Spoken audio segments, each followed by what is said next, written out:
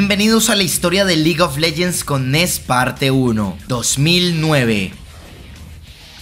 Bueno, en el año 2009 la pantalla de actualización del juego, es decir, la primera pantalla que te aparecía mientras te instalaba el juego antes de poder ingresar a tu cuenta como tal, era esta que están viendo aquí. Una pantalla gris que nos estaba mostrando cuatro campeones, estaba Cho'Gath, Master G, un Timo y en la parte superior derecha un Nunu. El antiguo Nunu, que parecía una versión malvada de Kenny, con Willum, que en ese momento no era Willum, era solo un Yeti. También nos mostraba el estado del server, las noticias del juego a modo de listado en un chat y por último las redes de la comunidad, ya desde ese momento las redes bastante visionario por parte de Riot. Ahora vemos el login un poco fúnebre, ¿eh? Resaltando los grises aún, una época bastante gótica del videojuego. Vemos cómo estaba el logo de League of Legends pequeño, entre lo que parecen dos caras de un libro o dos puertas de una cripta, con dos figuras de gárgolas, una en cada lado. Parece un felino y en el centro poníamos nuestro nombre de invocador, nuestra contraseña y logueábamos. Ahora vamos a ver la tienda, donde nos recibía Heimerdinger y donde podíamos ver todo lo nuevo que iba saliendo. En este caso, un par de skins y una campeona nueva, Poppy, la cual podríamos adquirir con Riot Point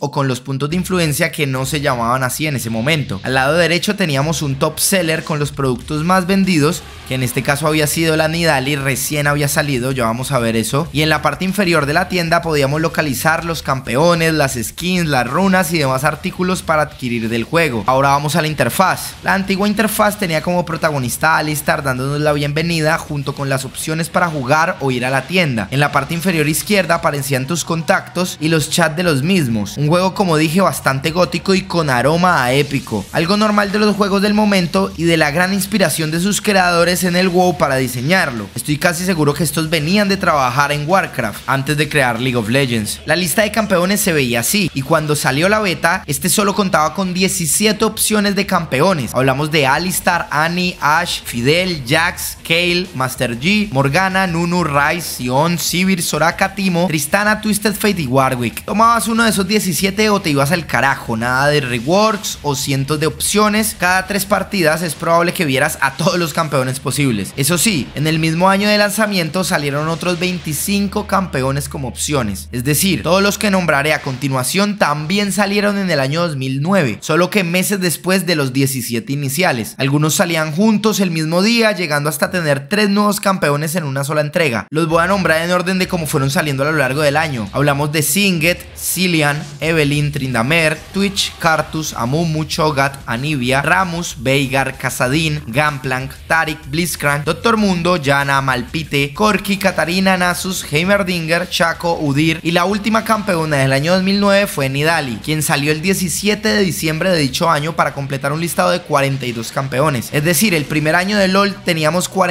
opciones para jugar en la grieta, nada más que eso. En esa época las runas eran diferentes a las maestrías y las páginas de maestría se veían así. Tenías una especie de puntos y los usabas en las mejoras que desearas. Las runas se adquirían en la tienda como comprar campeones, pero también te dan mejoras para tus campeones en la partida y las llenabas en la página poniéndolas encima de los símbolos. Había un límite máximo de cada una que podías usar, pero podías hacer las combinaciones que quisieras. Podías ponerle 0.5 de AP, 0.5 de daño, 0.5 de armadura, de resistencia, mejor dicho, un campeón completísimo. La información del campeón era la foto del mismo al lado de Severa Biblia con una parte de su historia que antes no era un lore. Recordemos que en esta época el lore era la Liga de los Campeones y nos narraba cómo el personaje terminó yendo a luchar a la Liga de los Campeones, sin regiones, sin místicas, sin conocerse entre sí. También nos muestra cómo se veían en el mapa sus habilidades, la descripción de cada una de ellas junto con la de su pasiva y una especie de barra con sus estadísticas a nivel general para así enterar a los jugadores el tipo de campeón que tenían entre las manos. Los hechizos de invocador se veían de esta forma, se iban desbloqueando a medida que tu cuenta iba subiendo de nivel. Tú los organizabas durante la selección del campeón. Hay incluso unos spells allí que hoy día ya no existen, como el revive que te servía para revivir inmediatamente luego de morir y ganabas durante un tiempo velocidad de movimiento, el clarivoyance, no sé cómo se pronuncia, para revelar un área del mapa, el fortify para volver tus torres invulnerables por un tiempo y hacer que estas ataquen más rápido. ¿Se imaginan eso hoy día? El rally para invocar una baliza que te curaba a ti y a tus aliados y a la vez les dabas daño, o el promote para literalmente agrandar un minion, que este fuera más fuerte totote y haga más presión en la línea. Se utilizaba mucho para estrategias de push este. La selección de campeón se veía así, de nuevo tonos oscuros, todos los campeones PNG fondo negro con sus antiguas artes, un chat gigante para hablar sanamente con tu equipo en la parte derecha y en la parte superior los picks que iban seleccionando tus cuatro compañeros junto a sus hechizos de invocador. La carga de la partida insistía en los negros con la imagen del campeón súper bien recortado, el pin del jugador, porcentaje de carga y sus hechizos y en la parte superior el nombre del campeón y del invocador. Así entrábamos entonces a la partida. Como vemos ahora en este gameplay de la beta, en el costado inferior izquierdo aparecía tu pick, al lado de él estaba el enfriamiento de tus habilidades, también de tus hechizos y justo debajo de él estaban las armas que adquirías en la tienda. Había muchos lenguajes gráficos en esta interfaz de juego, por eso se veía tan caótica. En la parte inferior de tu pantalla y bastante grande estaba tu barra de vida, como en el WoW, la de maná si el campeón tenía maná, arriba de esta tus estadísticas de la partida y abajo tu nivel, el nombre del campeón, el dinero que llevabas y el menú. El minimapa estaba en la parte inferior derecha como es costumbre y en la parte superior derecha estaba tu pin, los FPS y tus estadísticas de asesinatos, muertes y asistencias como aún hoy día están. El juego era claramente más lento y cuando señalabas un campeón enemigo se veía su barra de vida, su nivel y equipamiento. Podías ver las estadísticas de los demás jugadores durante la partida como lo hacemos hoy en día. Este modelo de mapa era el antiguo. Tenía bases en piedra como formando baldosas, pinos decorando el mapa, la barra de vida de la torre y de los inhibidores bastante pequeñas y una saturación visual digna de la época. Muy parecido, repito, al Warcraft, donde el mapa se veía saturado o bueno, aún hoy en día se puede ver así, con muchos elementos, generando cierta confusión a tus sentidos sobre cuáles son exactamente tus habilidades y para qué sirve cada cosa. Los pequeños letreros cuando asesinabas a alguien o el dinero que te daban por matar minions, ganar experiencia o demás, me saben a juego clásico de los 2000. Y la verdad es que el poco balance que tenía el juego en ese entonces le quita bastantes puntos a nivel competitivo, pero le daba una diversión añadida, ¿saben? Siendo una aventura más de exploración y de pelea que simplemente un juego de ajedrez para acabar con el nexo enemigo como lo es hoy en día. Eso sí, el juego era muy oscuro,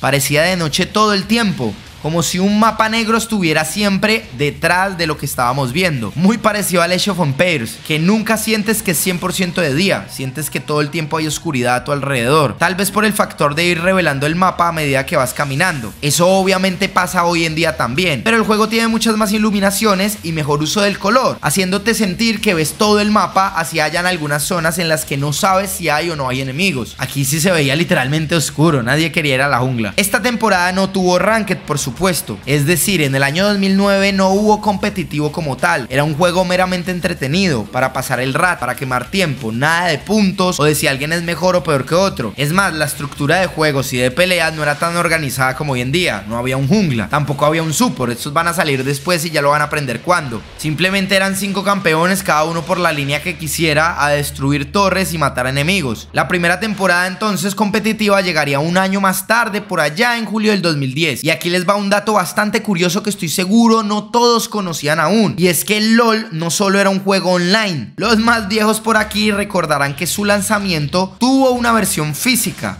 Sí, con caja, disco y todo. La caja no era demasiado especial, logo por la parte delantera y una contraportada en la que se destacaban aspectos del género MOBA, que por aquel entonces no era la bestia actual que conocemos hoy en día en el mundo. También se hablaba de la rejugabilidad del título y de características como el matchmaking. HQ era el encargado de editar este primer juego de Riot Games en formato físico, el cual contaba también con marcas importantes del sector como Razer o Nvidia. Ya dentro de la caja teníamos tanto el disco de instalación como varias cosas interesantes. Por un lado estaba el mapa de una primigenia Runterra. Por la parte de atrás de ese póster teníamos la descripción de un puñado de personajes iniciales como Annie, Ash o Rice de los que ya habíamos hablado. Pero muchos se preguntarán por qué la gente pagaba por un juego que era gratuito, porque él salió siendo gratuito. La razón por la que se pagaban 29.99 dólares, es decir, eso equivaldría más o menos hoy día a 130 mil pesos colombianos por esta cajita, era porque se nos regalaban 10 dólares en Riot Points coins, 4 páginas de runas y varios aspectos como Rice joven y Kale plateado. Hoy día la skin de Rice joven está valuada en 150 euros. Es ultra rara porque no se puede conseguir ni adquirir. Es decir que si alguien le metió 30 dólares en ese momento a LOL, después se sintió como idiota porque era un juego gratuito, hoy día tiene una cuenta que vale al menos 150 euros. Podría valer mucho más. La caja no estuvo mucho tiempo a la venta y es una pequeña curiosidad que algunas personas guardan con cariño. Por último me despido con el épico tráiler que tenía League of Legends. Las explosiones, el metal, los campeones siendo presentados como motociclistas de reality show americano es simplemente épico, está aquí. Si les gustó este video dejen su like y seguiré con más videos de la historia de League of Legends con Ness. Los invito a que se suscriban a este canal y activen esa campanita. Síganme en mi TikTok e Instagram llamado Psicólogo Ness.